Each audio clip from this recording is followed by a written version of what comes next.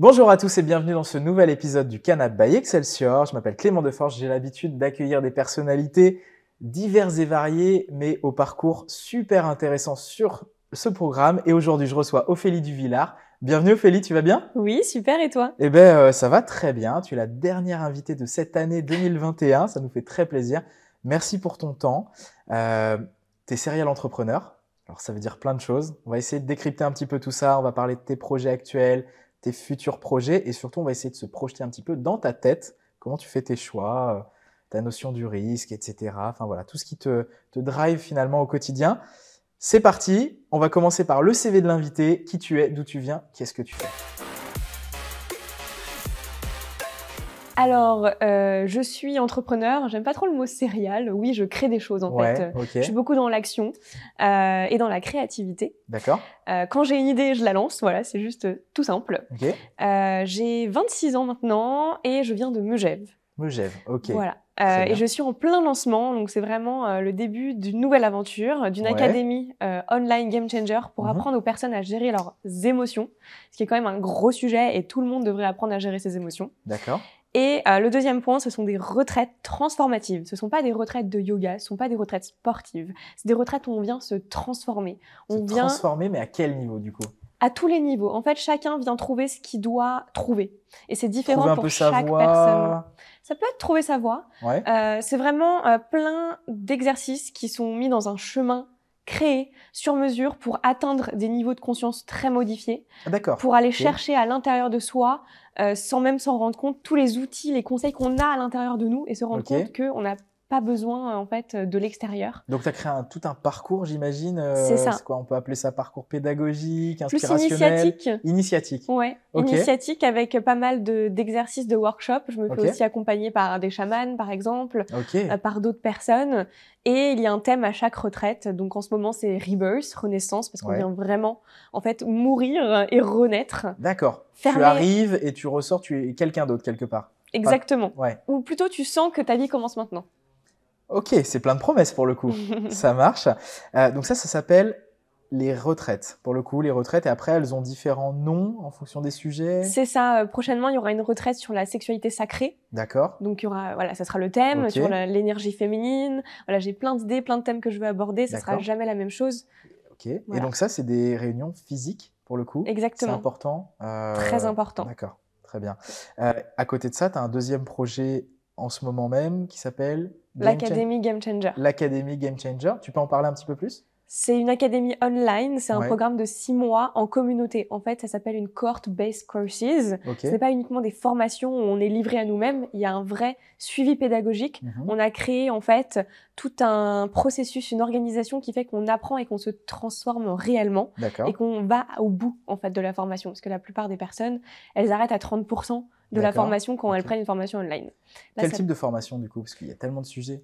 Mais là, c'est sur la gestion émotionnelle. Gestion émotionnelle, donc tu es très porté pour le coup sur les émotions. Exactement. Ok. Puisque c'est la base de tout, en fait. D'accord, très bien. Donc ouais, effectivement, Game Changer, euh, l'académie et les retraites, on est, on est sur ces sujets euh, de fond. En fait, on n'est pas dans l'intellect, puisque Ouais. l'humain est 99% dans l'intellect, dans le mental. Donc ça, on y est déjà assez. On a été éduqué pour le rationnel, on a été éduqué partout dans l'intellect. Il n'y en a pas besoin de plus. D'accord. Donc toi, tu as envie de faire un focus sur des choses qui sont, euh, entre guillemets, un petit peu sous-exploitées. Exactement, c'est Voilà. sous-exploité, mais c'est tout ce qui est les intuitions, les émotions, les ressentis, les Mhm. perceptions, euh, les croyances aussi, venir les faire bouger, les changer. Ok. Donc c'est vraiment à l'intérieur du corps et du cœur. Ok. C'est en place déjà ou ça va se lancer? C'est en janvier la première C'est en promotion. janvier. ouais. Ok. Combien de personnes euh, Comment ça marche? C'est 100 membres maximum. Ok. À l'intérieur des, des- à l'intérieur de la promotion de 100 membres, on crée des petits groupes selon les profils psychologiques pour qu'ils puissent se coacher entre eux et avancer entre eux. Ok. Et ça dure 6 mois. Ça dure six mois. D'accord. Ok. Très bien. Donc c'est pas forcément à temps plein, j'imagine. Ça doit être. euh, Bien évidemment, Ouais. chacun organise ça comme il le souhaite. Euh, ch- chaque semaine, il y a un contenu à regarder, des exercices, un outil à mettre en place, à pratiquer. Ensuite, il y a les petits groupes, donc ils peuvent s'organiser comme ils veulent pour Mhm. se voir en vrai ou en Zoom. D'accord. Et chaque mois, il y a une demi-journée avec nous, mon associé qui est experte en neurosciences et psychologie existentielle et moi-même. Très bien, ok. Donc c'est aussi un petit peu Covid-friendly, c'est-à-dire que ça, ça peut se faire aussi un peu à distance. J'aime bien euh, dire nomade friendly. Nomade-friendly, ok. On va adapter les, les expressions. En préparant cette émission, tu m'as parlé de NFT. J'aimerais qu'on y revienne justement. Euh, déjà, c'est quoi ton rapport avec tout ça? Tout, tout, ce que tu vois arriver, le métaverse, les NFT Bon, les NFT, c'est déjà là, mais euh, c'est quoi ton rapport avec ça déjà? Euh, J'ai un rapport de curiosité et d'exploration et de voir le potentiel. Ouais. Euh, je ne comprends rien à la blockchain, mais en fait, j'aime dire euh, comprendre, vouloir comprendre la blockchain, c'est comme vouloir comprendre le protocole de TCP/IP pour envoyer un mail. Aujourd'hui, on envoie des mails, on comprend pas le protocole de TCP/IP. Eh bien, demain, je veux créer des NFT, je sais comment les créer, pourquoi, comment ça va servir le monde, les gens, mais je ne connais pas le processus de blockchain. Oui, oui, oui. Ton intérêt, il est plus de, Ouais. Enfin, tu t'intéresses pas foncièrement à la technique derrière, mais plus quelle est l'utilité. Euh. Mais j'aime le dire parce qu'en fait, ça peut freiner beaucoup de gens. Le terme, euh, ça peut faire peur et donc les gens vont s'arrêter là. Ok, donc tu t'intéresses là de plus en plus au Web 3 on, a, on, voit le terme arriver Web 3, Web 3.0, d'accord, ok. Et ça va consister en quoi alors ces NFT euh, on va parler de ça. Ça va être la même chose que ce soit Game Changer ou les retraites. Ça tourne tout autour de la communauté. Le principal quand tu crées des NFT, c'est qu'est-ce que tu offres et il y a quoi en échange. En fait, c'est comme un jeu euh, et tu offres des choses que d'autres personnes ne peuvent pas avoir s'ils n'ont pas les NFT. D'accord, ok. Euh, comme par exemple euh, accéder à des retraites spécifiques, à des conférences, à des choses où ça donne un accès. Ok. Ensuite, ça donne aussi le pouvoir, un pouvoir de gouvernance. Quand tu as un NFT, tu as un vote. Quand tu as 10 NFT, tu as 10 votes. Quand tu as 10 000 NFT, tu as 10 000 votes. Donc si tu as la moitié des NFT, Ok, donc tu as, déjà, la majorité de as déjà toutes ces règles en tête euh, de fonctionnement grâce aux NFT en fait. C'est ça qui est hyper intéressant en fait. Tu gamifies le truc, quelque part. C'est qu'en plus de gamifier, ça t'appartient. Ouais. C'est-à-dire que demain, Game Changer pourra t'appartenir. Et on les donne en fait. Si tu fais Game Changer, tu auras un NFT. C'est learn to earn. Okay. Si tu viens à la retraite, tu auras un NFT. Tu auras la possibilité d'en acheter en plus, mais c'est un plus. Et donc ça t'appartient. Tu n'achètes pas juste une image en fait, tu achètes une part de Game Changer, tu achètes une part des retraites. Très bien. Tu pourras la revendre, si ça prend de la valeur, bah, tu prendras de la valeur avec. C'est vraiment, tu deviens actionnaire, investisseur grâce aux NFT. Comment tu, euh, comment dire, comment tu es entré dans ce monde des NFT Est-ce que tu vas chercher l'info par toi-même? Est-ce que tu creuses? Ou est-ce qu'effectivement c'est ton réseau qui te parle de ça, qui t'influence là-dessus? Comment comment t'arrives dans ce nouveau monde? Alors, je suis très connectée sur Twitter euh, à des Américains, et donc euh, forcément, ça a été les premiers à parler de ça. Et moi, c'est vraiment via Twitter. Après, je suis aussi dans d'autres groupes euh, d'entrepreneurs, donc ils en parlent tout le temps. Donc, je suis émergée là-dedans depuis un an. Ça arrive seulement ici, mais ça fait un an, moi, où vraiment, j'en entends parler. Mais je m'étais jamais vraiment intéressée.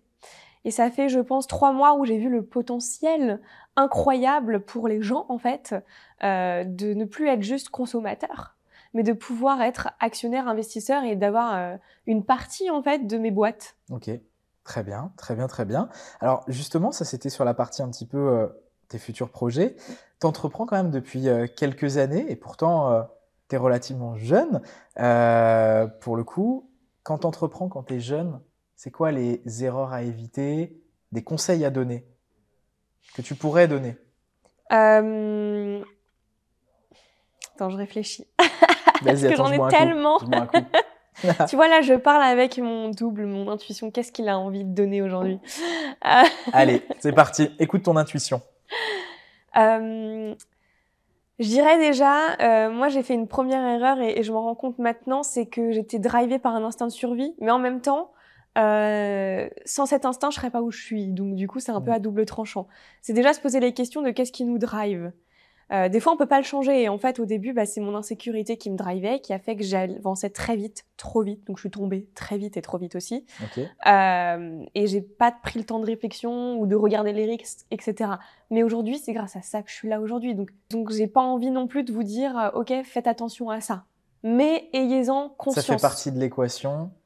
En fait, faut en avoir conscience. Si tu as conscience que c'est par insécurité que tu fais les choses, déjà, c'est un énorme pas. Euh, qui va pouvoir te permettre de ralentir, de vouloir être moins drivé par une motivation extrême parce que tu n'as pas le choix. De toute façon, l'insécurité, c'est la vie de chaque entrepreneur, tu vois, déjà par défaut, euh, contrairement à un CDI, j'en sais rien, tu vois. Attention, il y a une différence entre se mettre en insécurité parce que tu entreprends et être drivé par ton insécurité. Alors, qu'est-ce que tu appelles être drivé par l'insécurité, pour bien comprendre? Eh bien, est-ce que tu fais les choses parce que tu as peur? Est-ce que tu fais les choses parce que tu es en insécurité? Est-ce que tu fais les choses pour survivre? Par exemple, moi, je voulais lever des fonds pour me mettre en sécurité. Ah, je vois. Ok, d'accord.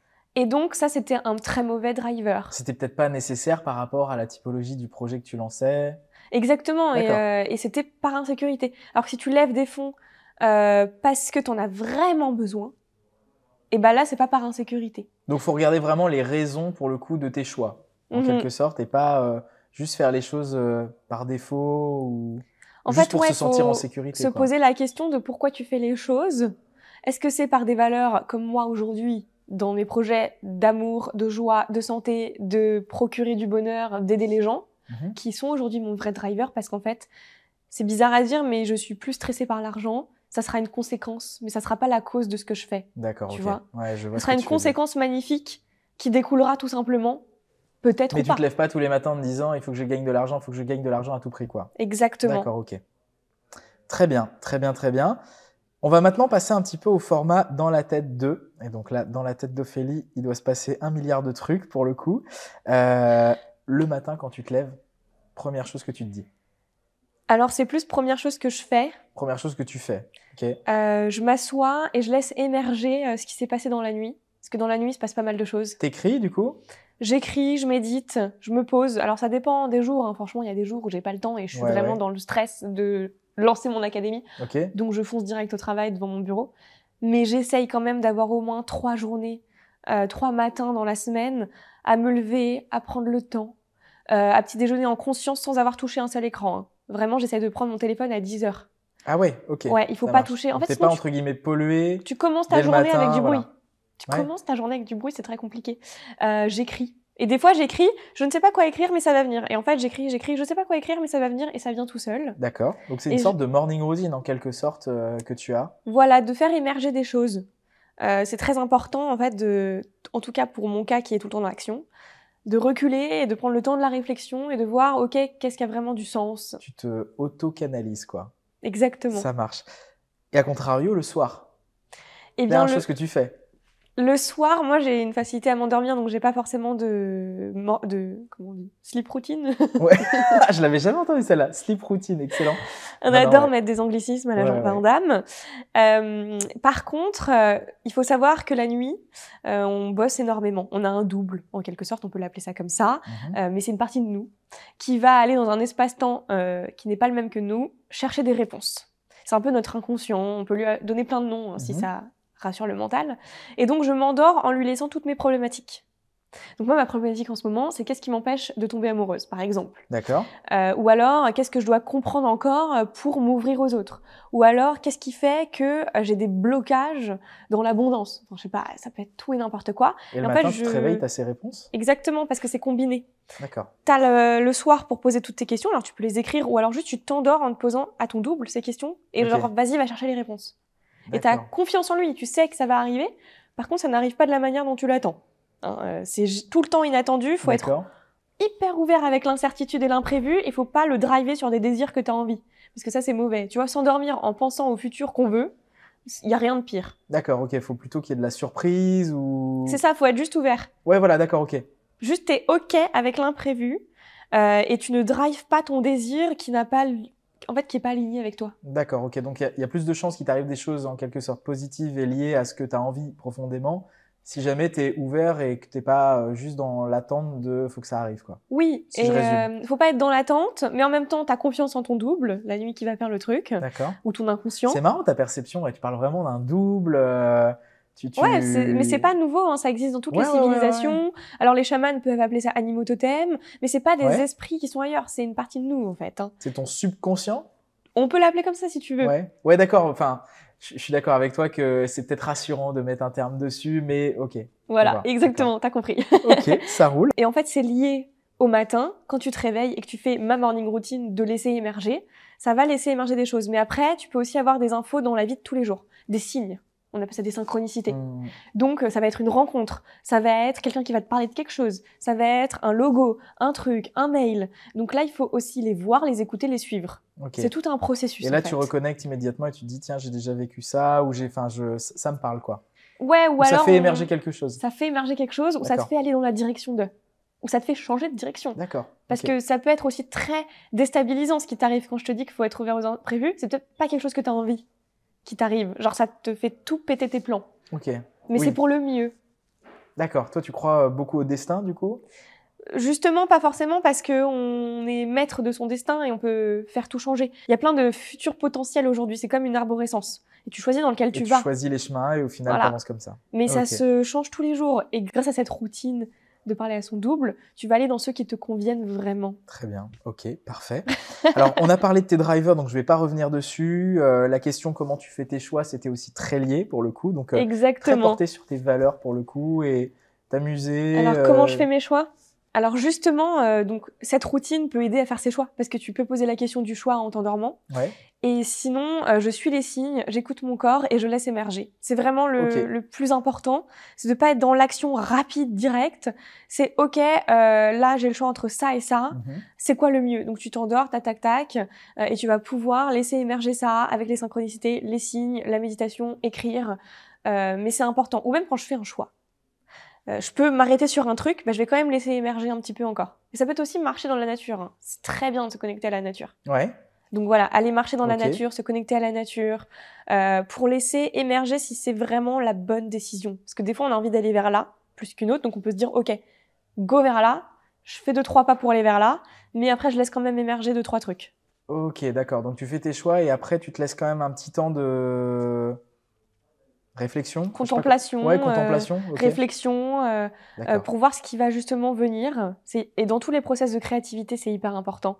Peu importe ce qu'on fait euh, dans créer. J'aime bien l'idée en tout cas de se connecter à la nature. ça change un petit peu de nos villes un peu saturées, nos environnements habituels. Et c'est important de descendre dans le corps en fait, de comprendre ce qu'il ressent. Ok. Parce qu'on le bloque tout le temps avec notre tête qui dit. Écouter son corps, je pense qu'il y a énormément de personnes qui nous regardent, qui n'écoutent absolument pas son corps. Comment Après, ça, c'est un vrai sujet. C'est quoi les signaux euh, que ton corps bah, te Il suffit juste euh euh, de ressentir.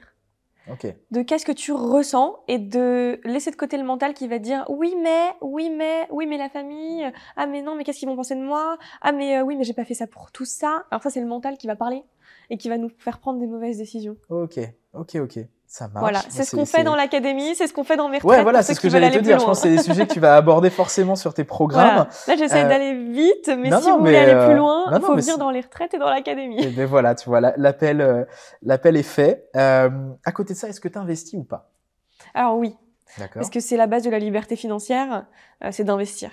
D'accord. T'investis dans quoi, par exemple euh, Plus de limo, des cryptos? Alors, j'ai un profil à risque très élevé et très long terme. Donc, la première chose à faire quand on investit, c'est Très élevé, très long terme, c'est intéressant. Ouais. Parce que parfois, on pourrait se dire très élevé, très court terme, pour le coup.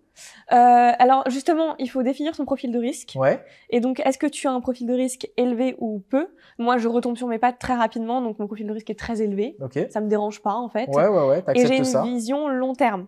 C'est là où tu peux avoir un profil très élevé court terme, un profil euh, très bas euh, long terme.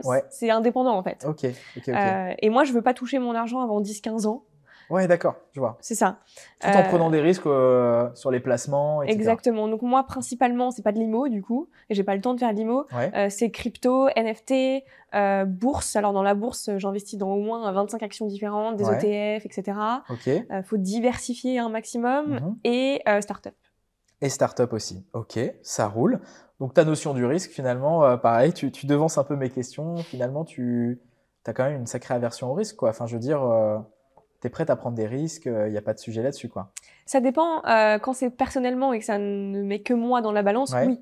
Si demain c'est game changer mon projet, et eh ben, je vais quand même pas être au même niveau de risque. Ouais, ok, d'accord. En tout cas, concernant tes investissements, pour le coup, tu es plutôt sur, un, sur un panel assez risqué. quoi.